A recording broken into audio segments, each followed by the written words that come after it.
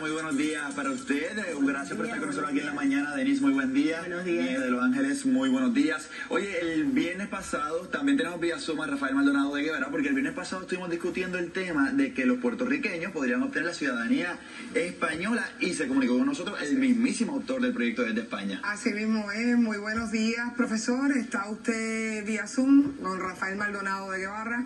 Saludos. Sí. ¿Usted, ¿Usted fue el proponente de este proyecto?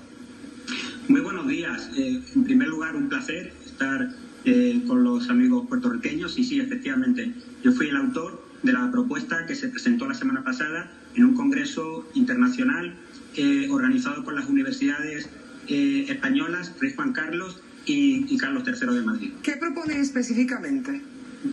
Pues esta propuesta, partiendo de unos hechos históricos, que es eh, la injusta retirada de la nacionalidad española que sufrieron los puertorriqueños eh, con el Tratado de París de 1898 y otra serie de, eh, de cuestiones históricas, parte de derecho positivo español, de la ley de los sefardíes, de reparación de los sefardíes del, de- del, año 2015 y también de otras leyes que han reintegrado a la nacionalidad española a personas que habían quedado, se habían perdido esta nacionalidad a consecuencia de la guerra civil y lo que las, eh, los hechos históricos que, que posterior eh, que sucedieron a la guerra civil para aplicarlo al, al concreto caso de Puerto Rico. De tal modo, lo que se pretende es establecer unos cauces para que aquellos descendientes de los puertorriqueños que perdieron su nacionalidad española en 1898 si cumplen una serie de requisitos y mediante unos trámites administrativos puedan recobrar esta nacionalidad eh, de la- en, la, en la vía la que se llama nacional, nacionalidad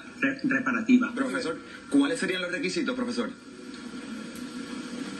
Pues bueno, en principio la propuesta, yo estoy perfilando la propuesta eh, y la he hecho pública en todas las cuestiones porque quiero que aquellas, aqu- aquellas personas de Puerto Rico que han aplicado la nacionalidad española, por ejemplo, con la ley de memoria democrática, la llamada ley de nietos, si no se la ha concedido, Ajá. poder estudiar sus casos para que en la nueva norma, eh, digamos, sea inclusiva y puedan adherirse.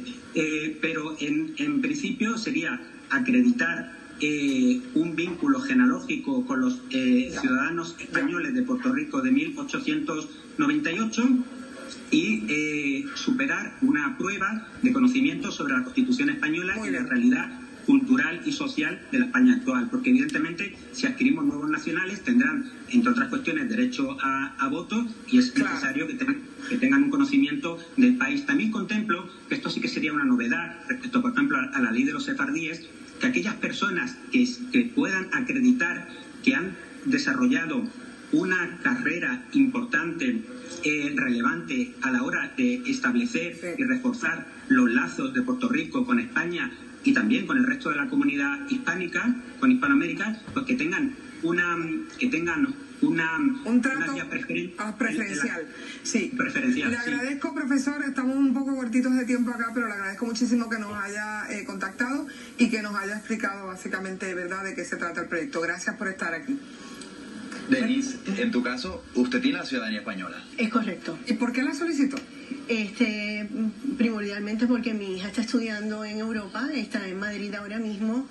Eh, nosotros tenemos familia en España y entonces pues la quisimos solicitar para eso, principalmente para ella, para nuestros hijos que tengan oportunidades Porque mayores. lo ve como una oportunidad mayor. Sí, correcto. Eh, Y para estar claro, usted no deja, no renuncia a la ciudadanía estadounidense. No, Usted para nada. es- Está con la doble ciudadanía. Correcto. Sí. porque lo ve como una oportunidad mayor. ¿En qué áreas? Áreas de estudio. Este, como te dije anteriormente, mi hija quiso irse para España a estudiar. Está estudiando por allá, está en su segundo año. Y creo que es una oportunidad muy grande porque con la Unión Europea, que hay muchos más países, este, pues tienen más posibilidades de, de expandirse. Exactamente, con el, el pasaporte americano únicamente puede entrar a Estados Unidos para vivir y trabajar, sin embargo, con el Correcto. europeo puede entrar en 127 países más, 120 y tanto. Sí. Eh, profesora, ¿por qué, qué nos debe? ¿Qué tanto nos debe España o qué tanto nos tendría que otorgar?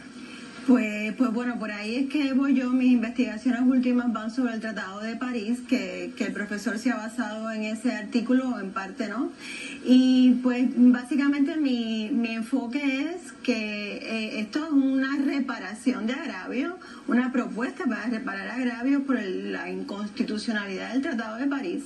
pero a los puertorriqueños nos debe importar otras cosas, nos debe importar estas ataduras que tenemos ahora con Estados Unidos gracias al artículo 9 del Tratado de París y yo creo que el enfoque de todos los puertorriqueños debe ir hacia esa eh, declaración de inconstitucionalidad del Tratado de París y entonces nosotros poder empezar a resolver nuestros problemas y decidir qué nacionalidad queremos o no queremos ya desde una forma eh, como adultos, ¿no? Sí, empoderados. Exacto. Nosotros con el poder. Exacto. Y le agradecemos por estar acá en la mañana a tratar un tema ustedes, que le tuvimos que dar seguimiento porque obviamente mucha información Sí, que... sí. Y demasiada gente hemos descubierto que quiere Claro, sí, sin duda, y más cuando se puede mantener tanto la ciudad éramos españoles, éramos españoles. Bueno, Gracias, por gracias. estar con nosotros en la mañana. Gracias. Un placer. Gracias por tenernos, por estar acá. Y ahora yo sigo con más de en la mañana con las noticias que tienen Mari Carmen y Manuel.